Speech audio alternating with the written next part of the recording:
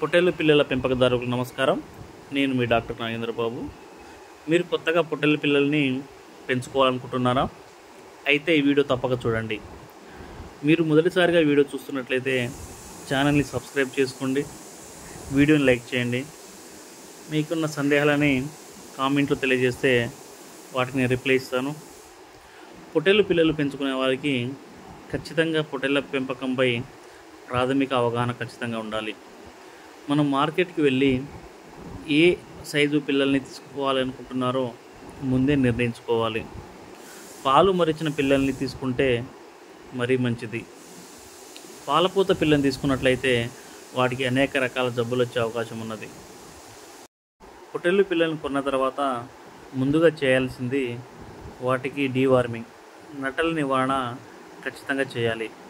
మనం నటల నివారణ చేయకుండా పొట్టేని పిల్లల్ని అలాగే ఉంచినట్లయితే అనేక రకాల జబ్బులు వాటికి సోకే అవకాశం ఉన్నది. డీవార్మింగ్ చేసిన తర్వాత లివర్ టానిక్ వేయించాలి.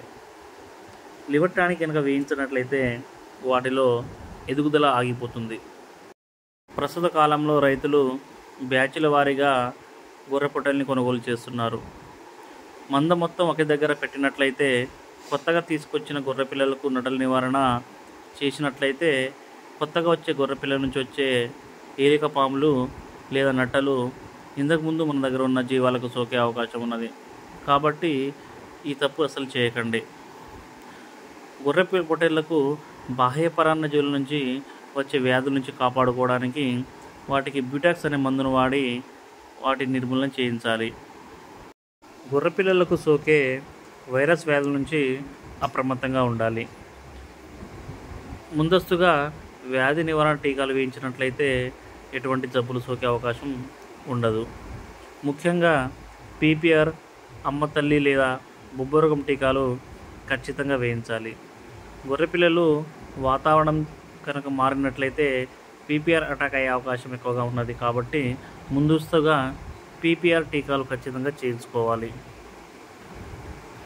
గొర్రె పొట్టెలను తీసుకొచ్చిన తర్వాత పశు వైద్యాధికారిని సంప్రదించండి. వారు సూచించిన మందులను వారి పర్యవేక్షణలో వాడవలసి ఉంటుంది. సొంత వైద్యం కనుక చేసినట్లయితే అనేక రకాల నష్టాలు వచ్చే అవకాశం ఉన్నది. గొర్రె పొట్టేలలో ఎదుగుదల సక్రమంగా రావడానికి వాటికి కాల్షియం మరియు బి కాంప్లెక్స్ టానిక్లు ఇవ్వాల్సి ఉంటుంది.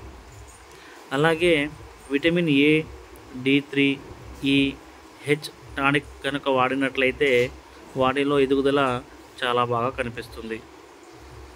పొట్టెళ్ళు పిల్లల్లో దేనికైనా రోగం వస్తే దాని మంద నుంచి వేరు చేసి వైద్యం అందించుకోవాలి.